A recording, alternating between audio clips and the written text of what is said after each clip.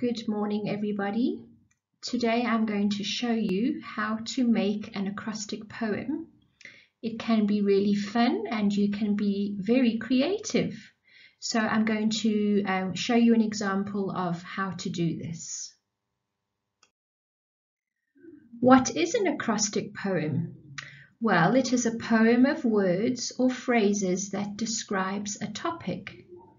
The topic is written vertically, that means it's going down, and each line of the poem starts with the letters of the topic word, making this a fun, unique kind of poetry form for children. This poem does not have to rhyme. So this is how an acrostic poem would look. You can see that the topic is going down the left side of the page from top to bottom. This word spells autumn. What you will do is start each line with the letter at the beginning of the line. So you would start the first line with an A. You would start the second line with a U. The third line with a T. The fourth line with another U the fifth line with an M, and the last line would start with a letter N. Each line must start with those letters. Now let's take a look and see if we can make a poem. Here we can see we have the same page showing you the topic of autumn. We are now going to look at how you can write each line as a sentence, but it must relate to the topic, which is autumn. Can you see how each letter starts the sentence?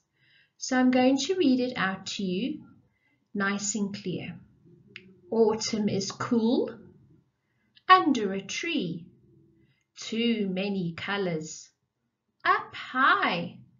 Many leaves fall. Now I can play. There you can see that every line starts with those letters.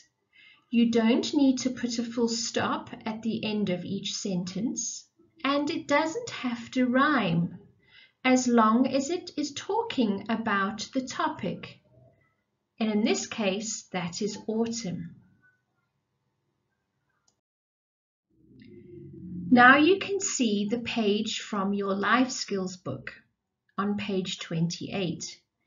Now you have the topic seasons. So remember what you are going to do.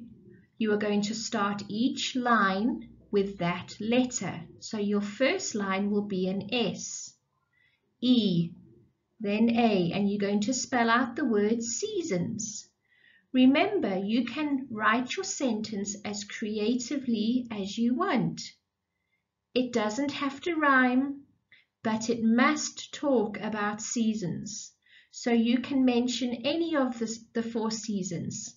You can talk about spring, summer, autumn, and winter, all in one poem.